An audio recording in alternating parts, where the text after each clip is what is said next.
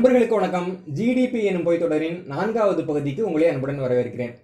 இதுக்கு முன்னாடி இந்த பகுதிகளெல்லாம் ஜிடிபின்னா என்ன அது எப்படி கணக்கிடப்படுது ஜிடிபி முறையோட வரலாறு என்ன ஜிடிபி முறையில் மறைக்கப்படக்கூடிய தகவல்கள் என்னென்ன அப்படிலாம் நம்ம பார்த்தோம். அதோட தொடர்ச்சியாக இந்த பகுதியில் ஜிடிபி முறையில் கொடுக்கப்படக்கூடிய தகவல்களில் என்ன குறைபாடு இருக்குது அந்த குறைபாட்டின் காரணமாக ஜிடிபி முறை எப்படி சமூகத்திற்கு எதிரான பெண்களுக்கு எதிரான குடும்பத்திற்கு எதிரான வயோதிகர்களுக்கு எதிரான முறையாக இருக்குது அப்படிங்கிறத பற்றி நம்ம விரிவாக பார்க்க போகிறோம்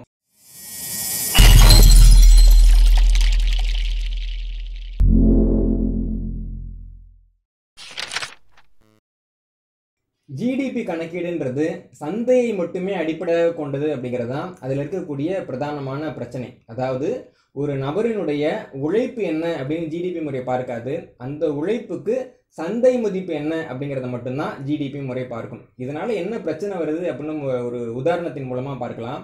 ஒரு நபர் வந்து இந்த சமூகத்துக்கு ஏதாவது பண்ணணும் அப்படின்னு முடிவு பண்ணி ஒரு மரத்தை நட்டு பத்து வருஷமாக தண்ணி ஊற்றி அதை பெருசாக வளர்க்குறாரு. இந்த பணிக்கு ஜிடிபியின் படி கொடுக்கப்படக்கூடிய மதிப்பு வந்து ஜீரோ ரூபாய். ஏன்னா வந்து ஒரு மரத்தை நட்டாரு வளர்த்தாரு. இதன் மூலமாக அந்த மரம் வளர்ந்துருக்கே தவிர எந்த பணமும் கைமாறல இது ஒரு பக்கம் இருக்கட்டும். இன்னொரு பக்கம் இன்னொரு நபர் வந்து அந்த மரத்தை பார்க்குறாரு நல்லா வளர்ந்துருக்கே அப்படின்ட்டு அதை நட்ட நபர் இல்லாத நாளாக பார்த்து அந்த மரத்தை வந்து வெட்டுறாரு விற்கிறாரு இப்படி விற்கிறதன் மூலமாக ஒரு பத்தாயிரம் ரூபாய் சம்பாதிக்கவும் செய்கிறாரு ஒரே நாளில் ஒரு ஒரு மணி நேரத்தில் அவர் செஞ்ச வேலை இது. இந்த வேலையினுடைய ஜிடிபி மதிப்புன்றது பத்தாயிரம் ரூபாய் ஆக மொத்தம். ஜிடிபி மதிப்பீடு அப்படிங்கிறது ஒரு செயலால் என்ன விளைவு ஏற்படுது நல்லது நடக்குதா கெட்டது நடக்குதாலாம் பார்க்காம அதன் மூலமாக வந்து ஒரு பணப்பரிமாற்றம் நடந்திருக்கா? அதுக்கு ஏதாவது ஒரு வேலை கிடச்சிருக்கா? அப்போ அதுதான் ஜிடிபி மதிப்பு அப்படின்னு இருக்குது. இதனால் வந்து ஜிடிபி முறை சமூக வளர்ச்சிக்கு எதிரான முறையாகவும் மாறுது. ஒரு சின்ன உதாரணம் சொல்லணும் அப்படின்னா இந்தியாவில் ஒரு லட்சம் பேர் வந்து நாங்கள் மரக்கன்றுகள் நடப்போகிறோம் அப்படின்னு கிளம்புனாங்கன்னா அந்த ஒரு லட்சம் பேரினுடைய ஒட்டுமொத்த உழைப்பு வந்து ஜிடிபியில் ஜீரோ ரூபாயாக தான் ரிஃப்ளெக்ட் ஆகும். அதுக்கு வந்து ஜிடிபியில் மதிப்பே கிடையாது. இந்த ஒரு லட்சம் பேர் மரம் நட போனாங்க. இந்தியாவில் மரம் ந- வளர்ந்தது அப்படிங்கிறதுக்கான எந்த தடயத்தையும் நீங்கள் ஜிடிபி வளர்ச்சியில் பார்க்க முடியாது. அதே நேரம் ஒரு ஒரு கோடி பேர் இந்தியாவில் வந்து நாங்கள் மரம் வெட்ட போகிறோம் அப்படின்னு கிளம்பி ஒரு கோடி பேர் மரத்தை வெட்டி விற்கிறாங்கன்னா அடுத்த வருஷம் ஜிடிபி வந்து எங்கேயோ போயிடும். பார்க்க போனீங்க அப்படின்னா ஜிடிபி வளர்ச்சி அப்படின்னு பொருளாதார நிபுணர்கள் அப்படி புலங்காயுதம் அடைவாங்க. வளர்ச்சி எங்கேயோ போயிடும். ஆனால் அதற்கு அடுத்த ஆண்டில் மேப்பில் இந்தியா இருந்த இடத்துல ஒரு பெரிய பாலைவனம் மட்டும்தான் இருக்கும். ஆக மொத்தம் ஜிடிபி வளர்ச்சி அப்படிங்கிறது எந்த செயல் அப்படின்னு கணக்கில் எடுத்துக்கொள்ளப்படாமல் கணக்கிடப்படுகிறது. இதன் காரணமாக அது வந்து சமூக வளர்ச்சிக்கு எதிரானதாக மாறக்கூடிய ஒரு அபாயமும் இதில் இருக்குது இந்தியாவில் முப்பது கோடிக்கும் மேற்பட்ட பெண்கள் வந்து இல்லத்தரசிகளாக இருக்காங்க. அவங்க வந்து குடும்பத்தை பார்த்துக்கிறாங்க குடும்பத்தினுடைய பொருளாதாரத்தை நிர்வகிக்கிறாங்க அவங்க தான் குழந்தைங்களை வளர்க்குறாங்க. இந்தியாங்கிற ஒரு நாடு வந்து குடும்ப முறை அப்படிங்கிறதுல உலக அளவில் புகழ்பெற்று இருக்குன்னா அதற்கு காரணம் வந்து இந்த குடும்ப தலைவிகள் தான். இந்த குடும்ப தலைவர்களினுடைய ஒட்டுமொத்த சேவை இருக்குல்ல அந்த சேவைக்கு ஜிடிபியில் கொடுக்கப்பட்டிருக்கக்கூடிய மதிப்பு வந்து ஜீரோ ரூபாய். அதாவது வந்து அவங்க ஒரு வேலையுமே பண்ணலை அப்படின்னு தான் இந்தியாவினுடைய ஜிடிபி கணக்கீடு சொல்லுது. இந்தியான்னு மட்டும் இல்லை உலகத்தின் மிக பெரும்பாலான நாடுகளில் ஜிடிபி கணக்கீட்டில் அந்த குடும்பத்தின் தலைவர்களாக இருக்கக்கூடிய பெண்களின் உழைப்புக்கு எந்த மதிப்புமே கொடுக்கப்படலை அப்படிங்கிறது தான் மிகவும் அதிர்ச்சிக்குரிய விஷயம். இதுக்கு இன்னும் ஒரு படி மேலே போய் பெரும்பாலான ஜிடிபி கணக்கீடுகளில் குடும்ப பெண்களின் உழைப்பை குறிக்கிறதுக்கான அந்த பகுதியே இருக்காது. அதாவது குடும்ப பெண்களின் உழைப்புங்கிற ஒரு வரியே இருக்காது.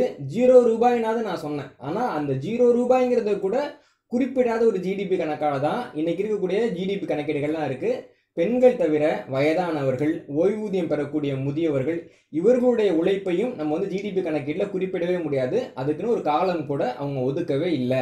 நவீன உலகத்தில் ஆணாதிக்கவாதம் பல வடிவங்கள்லையும் பரவி இருக்கு. அதன் வடிவங்களில் ஒன்று தான் ஜிடிபி இப்போ அமெரிக்கா இங்கிலாந்து ஆஸ்திரேலியா போன்ற நாடுகளை பார்க்க போனோம் அப்படின்னா அங்கே வந்து ஆண்களும் வேலைக்கு போகிறாங்க பெண்களும் வேலைக்கு போகிறாங்க பெண்களுக்கு வந்து குடும்ப சுமை அப்படிங்கிறதெல்லாம் அதிகமாக இல்லை.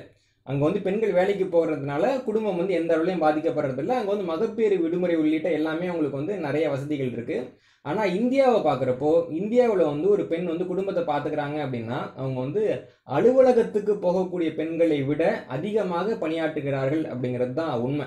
இந்தியாவின் வயல்களில் யார் அதிகமாக வேலை பார்க்குறாங்க அப்படின்னு ஒரு ஆய்வு நடந்தப்போ இந்திய வயல்களில் ஆண் விவசாயிகளை விட உழவு மாடுகளை விட அதிகமாக வேலை செய்யக்கூடியவர்கள் பெண்கள் அப்படிங்கிற முடிவு வந்து நமக்கு கிடைச்சது. அந்த அளவுக்கு வயலாக இருக்கட்டும் குடும்பமாக இருக்கட்டும் குடும்பத்தை தாண்டிய பிற பணிகளாக இருக்கட்டும் அனைத்துலேயுமே கடுமையாக உழைக்கக்கூடியவங்க தான் பெண்கள். ஆனால் இந்த வேலைக்கெல்லாம் அவங்க பெரும்பாலும் வந்து ஊதியம்னு ஒன்று வாங்குறதில்ல. என்னுடைய குடும்பம் என்னுடைய சமூகம் என்னுடைய வயல் என்னுடைய பசங்க அப்படின்ட்டு இந்த வேலைகளை எல்லாமே வந்து அவங்க ஒரு சமூக தொண்டு மாதிரி தான் பண்ணிட்டு இருக்காங்க. அதன் காரணமாகவே இந்த வேலைங்க எல்லாமே வந்து மதிப்பே இல்லாத வேலைகள். இந்த வேலைகளுக்கு வந்து நான் மதிப்பு கொடுக்க போறதில்ல. ஜீரோ ரூபாய் தான் மதிப்பு அப்படின்னு கொடுக்கறது. அவர்களுடைய மகத்தான அன்பையும் அவர்களுடைய அந்த தியாகத்தையும் அவமதிக்கிறதுக்கு நிகரானது. பல மேடைகளில் வந்து நம்ம ஒரு கதையை கேள்விப்பட்டிருக்கோம். அதாவது விவேகானந்தர் வந்து அமெரிக்காவுக்கு போறாரு. அங்க இருக்கக்கூடியவர்கள் வந்து விவேகானந்தர்கிட்ட ஒரு கேள்வி கேட்குறாங்க உங்கள் நாட்டினுடைய சிறப்பம்சம் என்ன அப்படின்னு இப்போ விவேகானந்தர் சொல்கிறாரு கோவில்களும் குடும்பங்களும் தான் எங்கள் நாட்டினுடைய சிறப்பம்சம் அப்படின்னு.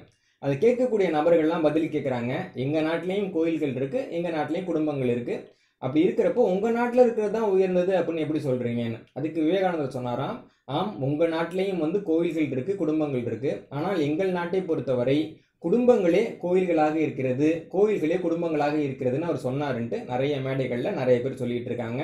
ஆனால் குடும்ப முறை தான் இந்தியாவினுடைய அடிப்படை அப்படின்னு சொல்லக்கூடிய இந்த நாட்டில் தான் குடும்ப முறைக்கு நேரெதிரான குடும்பத்தில் இருக்கக்கூடிய பெண்களை மதிக்காத ஒரு ஜிடிபி முறை பின்பற்றப்படுது அப்படிங்கிறது உண்மையில் அதிர்ச்சிக்கும் அவமானத்திற்கும் உரியது.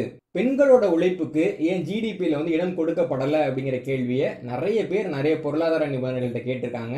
இதற்கு பெரும்பாலும் வரக்கூடிய பதில் என்னன்னா பெண்களுடைய உழைப்புக்கும் முதியவர்களுடைய உழைப்புக்கும் என்ன மதிப்பு கொடுத்து கணக்கு போடுறதுன்னு எங்களுக்கு தெரியலை. அதன் காரணமாகத்தான் ஜிடிபியில் அதுக்குன்னு ஒரு இடத்த ஒதுக்க முடியலை அப்படின்னு சொல்கிறாங்க கேட்குறதுக்கு ஏதோ ஒரு நியாயம் மாதிரி உண்மை மாதிரியே இருக்கலாம். இது ஒரு பக்கம் வச்சுக்கலாம். இன்னொரு பக்கம் பதினெட்டாம் நூற்றாண்டு வரைக்கும் இந்த உலகத்தில் வந்து தொழிற்சாலைகள்னு ஒன்று உருவாகலை. எல்லாமே வந்து சிறு உற்பத்தி தான் நடந்தது. தொழில் புரட்சிக்கு பின்னாடி தான் வந்து தொழிற்சாலைகள்னு ஒன்று உருவாச்சு. இன்னைக்கு தொழிலாளர்கள் அப்படின்னு ஒன்று சொல்கிறோம் இல்லைங்களா ஒரு வர்க்கம். அந்த வர்க்கமே பதினெட்டாம் நூற்றாண்டுக்கு பின்னாடி தான் உருவாச்சு. இன்னைக்கு வந்து இரண்டாம் நிலை துறை அப்படின்னு சொல்கிறோம்ல தொழிற்சாலை உற்பத்தி. அதெல்லாமே வந்து பதினெட்டாம் நூற்றாண்டுக்கு பின்னாடி தான் உருவாச்சு. அதே சமயம் பெண்களுடைய உழைப்பு அப்படிங்கிறது இந்த சமூகத்தில் எப்போ உருவாச்சு அப்படின்னு பார்க்க போனால் சுமார் ஒன்றரை லட்சம் ஆண்டுகளாக இந்த சமூகத்திற்காக பெண்கள் உழைத்திருக்கிறார்கள் அப்படின்னு சமூகவியல் வல்லுநர்கள் சொல்கிறாங்க இதற்கு வந்து மிகப்பெரிய ஒரு எடுத்துக்காட்டு என்ன அப்படின்னு பார்க்க போனால் உலகத்தின் மிக பெரும்பாலான மனிதர்களுக்கு வந்து வலதுகை பழக்கம் தான் இருக்குது மிக அரிதான நபர்கள் தான் இடதுகை பழக்கத்தோடு இருக்காங்க. பொதுவாக ஒரு உயிரினம் வந்து இடதுகை பழக்கத்தோடு இருக்கிறது தான் வந்து சரி. ஏன்னா இடது பக்கம் தான் வந்து இதயம் இருக்குது அதனால ரொம்ப வலிமையான கை எப்படின்னு பார்க்க போனால் அது இடது கையாக தான் இருக்க முடியும். அப்படி இருக்கிறப்போ பல உயிரினங்களும் பார்க்க போனீங்க அப்படின்னா இடதுகை பழக்கத்தை அதிகமாக கொண்ட உயிரினங்கள் தான். உதாரணமாக அந்த துருவக்கரடிகளை பார்த்தீங்க அப்படின்னா அதில் தொண்ணூற்றி ஒன்பது புள்ளி தொண்ணூத்தொன்பது சதவீதம் துருவக்கரடிகள் வந்து இடதுகை பழக்கம் கொண்ட உயிரினங்கள் தான். அப்படி இருக்கிறப்போ மனிதர்கள் எப்படி வலதுகை பழக்கம் கொண்டவர்களாக அதிகம் பேர் இருக்கிறார்கள் அப்படின்னு ஒரு ஆய்வு நடக்குது. அந்த ஆய்வை பற்றி ரோசலின் மைல்ஸ் அவர்கள் தன்னுடைய உலக வரலாற்றில் பெண்கள் அப்படிங்கிற புத்தகத்தில் குறிப்பிட்டிருக்காங்க. அந்த ஆய்வோட முடிவில் என்ன சொல்கிறாங்க அப்படின்னா கற்காலத்தில் பெண்களுக்கு வந்து குழந்தைங்க பிறந்தது. அப்போ குழந்தையை விட்டு போகிறதுக்கு இடம் இல்லை. அதனால் தனது குழந்தையை மிகவும் வலிமையும் பாதுகாப்பும் இதயத்தின் பக்கமாக இருக்கக்கூடியதுமான இடது கையால் அவங்க தூக்கி அப்படியே மாறுபாடு அணைச்சிக்கிறாங்க. அணைச்சிக்கிட்டு ஒரு கையில் குழந்தையோட இன்னொரு கையால் மட்டும் அவங்க வேலைகளை பார்க்க ஆரம்பிக்கிறாங்க. அப்படியாக அந்த பெண்கள் ஒன்றரை லட்சம் ஆண்டுகளாக குழந்தைங்களை வந்து ஒரு கையில் வச்சுட்டு இன்னொரு கையால் வேலை பார்த்தாங்க இல்லைங்களா? அதன் பயனாகத்தான் உலகத்தின் பெரும்பாலான நபர்கள் இன்னைக்கு வலதுகை பழக்கம் கொண்டவர்களாக மாறி இருக்கிறோம் அப்படின்ட்டு வரலாறு சொல்லுது. ஆக மொத்தம் இந்த மனித சமுதாயத்தினுடைய வளர்ச்சிக்காக ஒன்றரை லட்சம் ஆண்டுகளுக்கு மேலாக உழைத்த பெண்களினுடைய அந்த உழைப்பை குறிப்பிடுறதுக்கு உங்களால் ஒரு காலம் ஒதுக்க முடியல. அந்த உழைப்புக்கு ஒரு மதிப்பு உங்களால் கொடுக்க முடியல. ஆனால் பதினெட்டாம் நூற்றாண்டுலாம் தொழிற்சாலைன்னு ஒரு முறை வருது. வந்த உடனே தொழிற்சாலை முறைக்கு வந்து நீங்கள் ஒரு பெரிய காலம் ஒதுக்கிறீங்க. தொழில் உற்பத்திகள் இருந்தால் தான் ஒரு நாடே வளரும் அப்படின்னு சொல்கிறீங்க ஆக மொத்தம் உங்கள் ஜிடிபி முறைக்கு தொழிற்சாலைன்னு ஒன்று வேணும் குடும்பம்னு ஒன்று வேணாம். அதுதானே அப்படிங்கிறது தான் இதை பார்க்கக்கூடிய அனைவருக்கும் தோன்றக்கூடிய ஒரு மிகப்பெரிய கேள்வியாக இருக்கிறது. நல்ல குழந்தைகள் ஒரு நாட்டோட உற்பத்தி இல்லையா? வலிமையான தொழிலாளர்கள் வந்து ஒரு நாட்டுடைய செல்வம் இல்லையா அப்படிங்கிற கேள்விக்கு இதுவரைக்கும் எந்த உலக நாடும் பதில் சொல்ல உற்பத்தி கணக்கீடுல பெண்களை ஒதுக்குறது அப்படிங்கிற இந்த தவறு வந்து பார்க்கறதுக்கு ஒரு சின்ன தவறு மாதிரி தோன்றினாலும் இதனுடைய விளைவு வந்து மிக மிக மோசமானதா இருக்கு. ஒரு உதாரணம் சொல்லணும் அப்படின்னா ஒரு சாலை விபத்து நடக்குது. அதுல வந்து ஒரு ஆண் இறந்து போயிடுறாரு அப்படின்னா அந்த ஆணினுடைய மாத சம்பளம் எவ்வளோ அப்படின்னு நீதிமன்றம் பார்த்து அதுக்கேற்ற ஒரு இழப்பீட்டை வந்து அந்த குடும்பத்துக்கு வாங்கி கொடுத்துட்றாங்க. அந்த ஆணையுடைய குழந்தைங்க வந்து அந்த காசை வச்சு ஓரளவுக்காவது பயன்படுத்திக்க முடியும். அதாவது இழப்பீடு ரொம்ப அதிகமாக இருக்குது அதை வச்சு படிச்செல்லாம் வந்துட முடியாது. ஆனால் வந்து ஏதாவது ஒரு கட்டத்தில் உதவுற அளவுக்கு ஓரளவுக்கு ஒரு நியாயமான பணம் வந்து அந்த குடும்பத்துக்கு கிடைக்குது. அதே நேரம் ஒரு சாலை விபத்தில் ஒரு குடும்ப தலைவி இறந்துடுறாங்கன்னு வச்சுக்கோங்களேன். அவங்க வந்து ஒரு நான்கு குழந்தைங்களுக்கு அம்மாவாக இருந்திருப்பாங்க. அவ்வளோ வேலை பார்த்துருப்பாங்க. நாலு குழந்தைகளுக்கான அவ்வளோ வேலையும் அவங்க பார்த்துருப்பாங்க. அவங்க தவறிட்டாங்க அப்படின்னா அவங்க குடும்ப தலைவி அவங்க உழைக்கல அவங்களுக்கு மாச சம்பளம் கிடையாது அப்படின்னு அந்த இழப்பீடு குறைச்சி கொடுக்கப்படக்கூடிய ஒரு நிலைமை இருக்குது. இதன் காரணமாக ஒரு குடும்ப தலைவியின் மறைவுக்கு பிறகு அவங்களுடைய குழந்தைங்களோட எதிர்காலமே ஒரு பெரிய கேள்விக்குறியா மாறுது. ஜிடிபி கணக்கீடு செய்கிறவங்க பெண்களுக்குன்னு ஒரு தனித்த பகுதியையும் குறியீட்டையும் கணக்கீட்டையும் உருவாக்க முடியலங்கிற காரணத்தினால பெண்கள் பல வகைகள்லையும் இந்த மாதிரி அநியாயங்களுக்கு உள்ளாக்கப்படுறாங்க. உலகத்தோட எந்த நாட்டின் ஜிடிபி கணக்கீட்லேயுமே பெண்களுக்குன்னு ஒரு இடம் கொடுக்கப்படலையா அப்படின்னு பார்க்க போனால் ஆஸ்திரேலிய நாடு மட்டும் அவங்க நாட்டினுடைய ஜிடிபி கணக்கீட்டில் பெண்களுடைய உழைப்புக்கு வந்து ஒரு இடம் கொடுத்துருக்காங்க. அதை வந்து ஹானரரி மென்ஷன் அப்படின்னு சொல்லுவாங்க. ஒரு மரியாதை நிமித்தமாக மட்டும்தான் வந்து பெண்களோட பெயரை அவங்க குறிப்பிட்டிருக்காங்க. ஆனால் பெண்களின் பெயரை எப்படியாவது ஜிடிபியில் சேர்க்கணும் அப்படின்னு நினச்சாங்க இல்லைங்களா? அந்த ஒரு எண்ணமே வந்து மரியாதைக்குரிய எண்ணம். ஆனால் ஆஸ்திரேலியா தொடங்கி வச்ச அந்த செயல்முறையை உலகத்தின் வேறு எந்த நாடுகளுமே பின்பற்றலை அப்படிங்கிறது வந்து மிகவும் அதிர்ச்சிக்குரிய ஒரு விஷயமா இருக்குது. பெண்களுடைய உழைப்பை கணக்கிடுறதுக்கு நம்மகிட்ட அளவுகோல்கள் இல்லை. அதனால நாங்கள் கணக்கிடலை அப்படின்னு சொல்கிறவங்க மனசாட்சி இருந்தால் பெண்கள் உழைக்கிறாங்க அப்படிங்கிற அந்த தகவலையாவது ஜிடிபி கணக்கீட்டில் சொல்லுங்கள் அப்படின்னு நான் ஒரு கோரிக்கையாக அந்த இடத்துல வச்சுக்கிறேன்.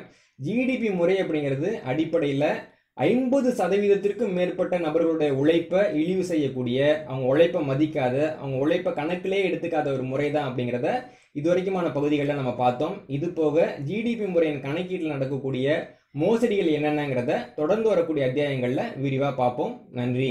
லைக் பண்ணுங்க ஷேர் பண்ணுங்க சப்ஸ்கிரைப் பண்ணுங்க. மறக்காம அந்த பெல் ஐக்கானை கிளிக் பண்ணுங்க.